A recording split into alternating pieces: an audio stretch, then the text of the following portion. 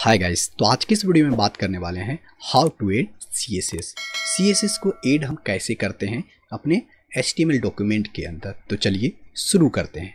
तो कहता है C S S is added to H T M L piece to format the document according to information in the style sheets there are three ways to insert C S S in H T M L document हमारे पास तीन way है C S S को insert करने के लिए H T M L document के अंदर। सबसे पहला है inline C S S inline C S S क्या होता है हम इसी वीडियो में हम लोग देखने वाले हैं ठीक है? तो उसके बाद दूसरा है इंटरनल सी एस एस और तीसरा है एक्सटर्नल सी एस एस और इनलाइन सी एस एस क्या होता है इसी वीडियो में हम लोग देखने वाले हैं। तो सबसे पहले देखते हैं inline C S S inline C S S क्या है?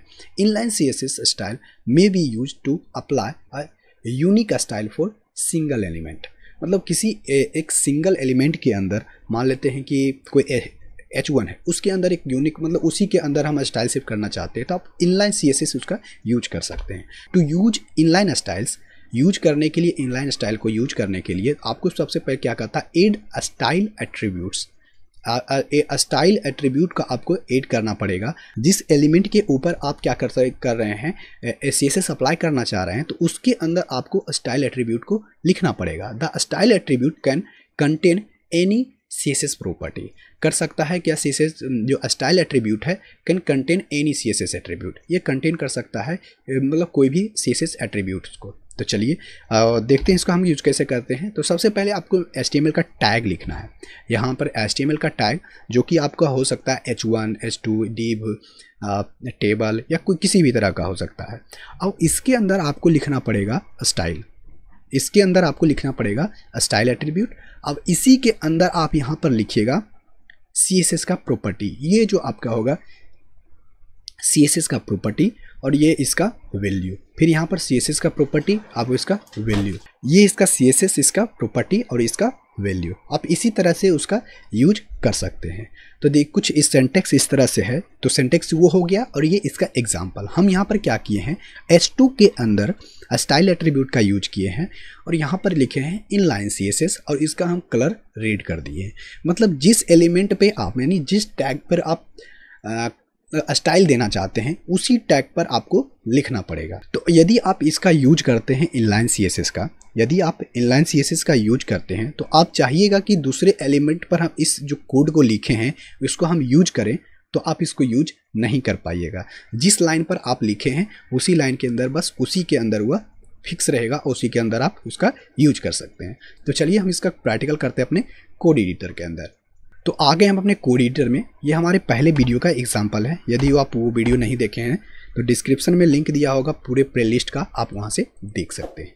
तो ये हमारे पास एल है। क्या है? एल है।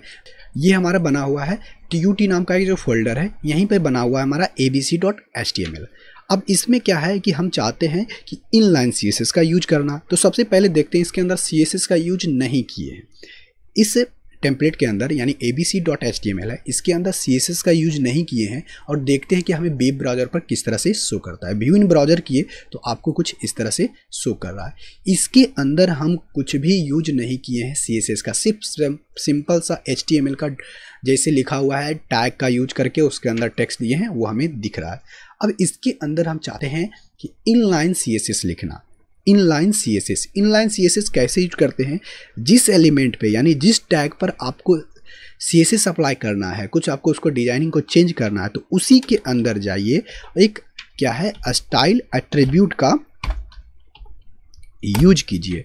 अब इसके अंदर आप सभी जितना का जितना स्टाइल का, का है जितना एट्रीब्यूट्स है आप सी एस एस का एट्रीब्यूट है आप उसका यहाँ पर यूज़ कर सकते हैं। हम यहाँ पर करते हैं कलर ठीक है?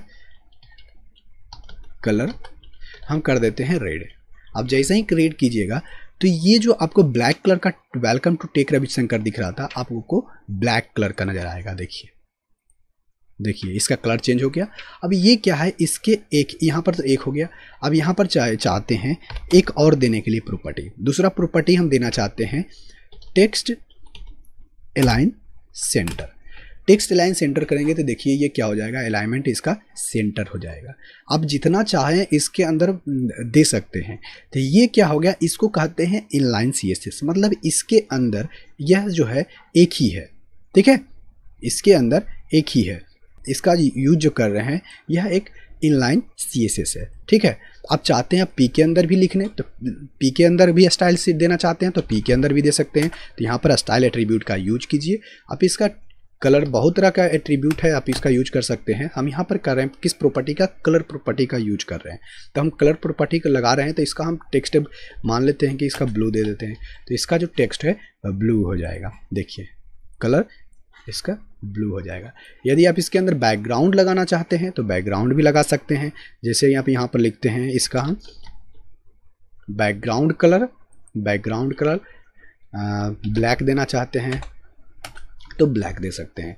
तो आप यहाँ से इसका सब कुछ चेंज कर सकते हैं। देखिए, इसका बैकग्राउंड कलर इसका चेंज हो गया।